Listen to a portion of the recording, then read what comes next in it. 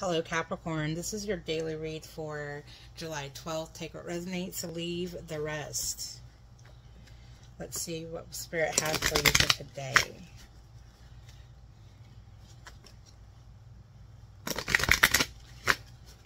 All right, Spirit. What do you have for my Capricorn babies for today? Okay, we got lots of stuff pouring out.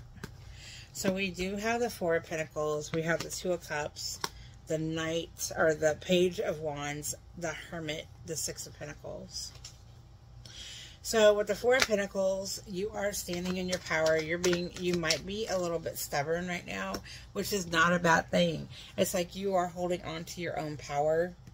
You are holding on to your own abundance, your own you know, it's like I've worked hard for this, so I'm I'm not gonna just give it out on a whim. I feel like that you are holding on to your power in a healthy way, not because you're being stingy, but because you're just sick of everybody's shit.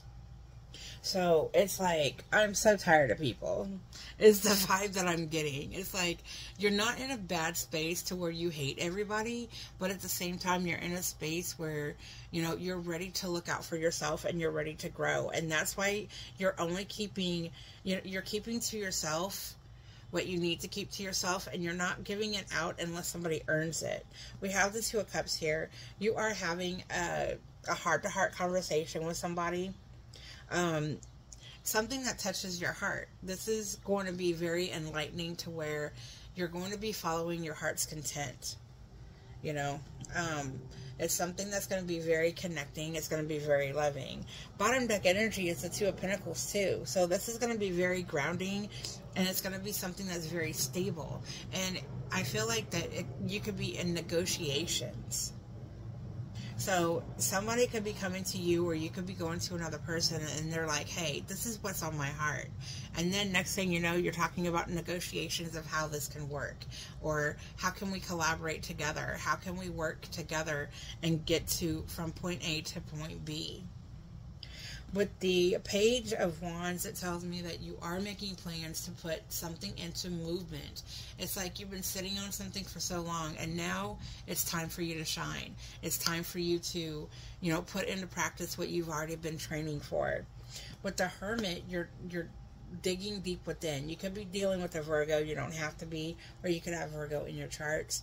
But with the hermit, you are looking within. What is it that I need? How have I grown? How can how is this going to help me grow in the future? Is this something for my greater good? Is this something that I truly want in my life? You know, sometimes we manifest things into our lives and then we don't realize everything that comes with it. So we're either not loved enough or some kind of baggage comes with it or, you know, maybe the person doesn't want to learn, maybe they don't want to grow. And then you just say, fuck the manifestation. I'm going to go somewhere else. The thing is, is that your manifestation is still out there. It just doesn't have to be with the person that you thought it was going to be with. And I feel like that that could possibly be the case. So you're digging within and you're like, do I want to choose me or do I want to choose this person? Do I want to do this by myself or do I want to do this with another person? And so I do feel like that you're looking out for your own greater good as to who you are on the inside now. How have you grown since the manifestation has been produced? With the Six of Pentacles, you do want somebody who's reciprocal. You don't want to be the only one paying the bill. You don't want to be the only one putting things together. You don't want to be the only one initiating anything. You know, it's like, I want a two-way street. I feel like that, you know, you're the type of person who's going to put things out there and you're going to say, Hey, I want to do this. The reason why I'm taking care of this is because I want to experience it and I want to experience it with you. So I'm not looking at the fact that I'm always doing this or I'm always doing that. But I do think that you wish that if a person wants to be around you, they can initiate shit too, Capricorn they need to initiate things too. And so I feel like, you know, you're really looking out for that as to who's going to meet you halfway and who isn't going to meet you halfway. If a person truly wants to see you or if a person truly wants to grow with you, guess what they're going to do? They're going to come to you. They're going to communicate. They're not going to just leave it up to you. You know, loving a person is giving a person the access to totally fuck you over. Okay? But that person loves you enough to not exercise that kind of openness. You know, to not exercise that action. That's how you know that a person truly loves you. And so, even though, you know, you wanting reciprocation, you're leaving it open that, okay, I'm leaving it open for you to come to me when you want to. But if they don't exercise that, you know, then you have your answer.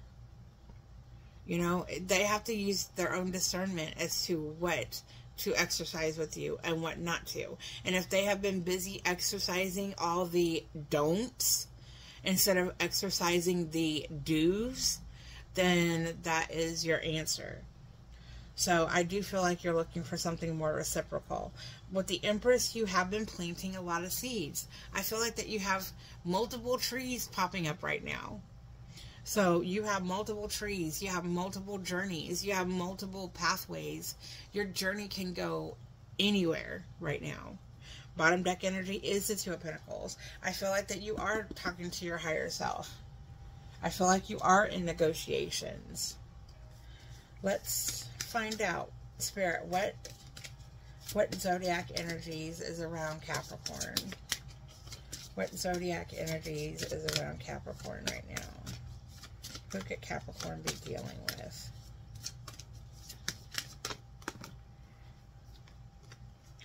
We have Leo and we have Cancer that popped out. So, that's what I have for you today, Capricorn. I'm sending you all kinds of love, light, healing, and protection. Have a great day, and I will talk to you soon.